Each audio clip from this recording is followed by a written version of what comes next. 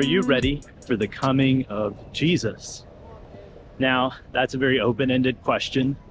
In order to get maybe a better answer, a more useful set of thoughts in your mind on the question, I want to just from memory, hopefully, go over a few texts that refer to what it's going to be like when that happens. The first text says that the return of the Lamb of God is going to be extremely supernatural and extraordinary. He says, Who shall abide the day of his coming? Who shall endure when he appeareth? For he is like a refiner's fire and like a fuller's soap. And he shall purge the sons of Levi. So you see in this picture of Malachi, he displays the return of Jesus as something like a fireball returning in great glory and fear. But then you have some texts like Matthew 24. Matthew 24 seems to depict the return of Jesus as being so sudden that no one, not even his people, will really catch drift of it beforehand. They're all going to go to work.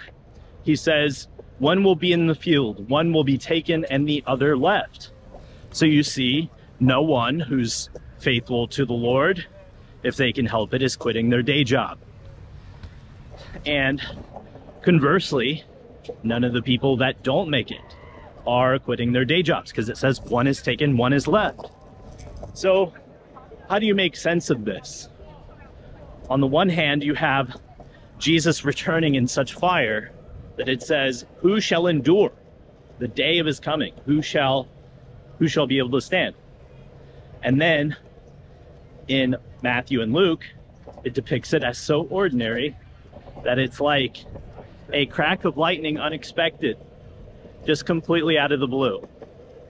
So now I hope you can better answer the question, are you ready for the return of Jesus? Because on the one hand, you should just be doing what you always do. And on the other hand, there are some helpful pieces of information in those texts that allow us to get more specific. So Jesus warns that because his coming is going to be surrounded by ordinary things, we are called, as it were, to not be drunk on those things. He says, don't be carried away with dissipation. Don't be focused on the cares of this life in this world. In First Corinthians chapter 7, Jesus says, or no, Paul says, but still Paul speaking through the Spirit, that the present form of this world is passing away. And in First John, John says, this world and all of its desire are passing away.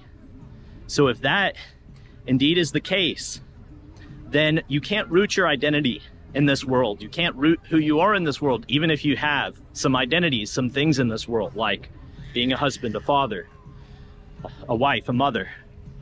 These can't be who you are. You have to be at your core and at your root who you are. Something not from this world, something from another world, from heaven, from God, from his presence. And if that's who you are, then you won't be drunk on the cares of this world. You won't be drunk on the things of this life. You'll be fully set so that even if you are simply going to work, you will be ready for the return of Jesus. And that is where you need to be.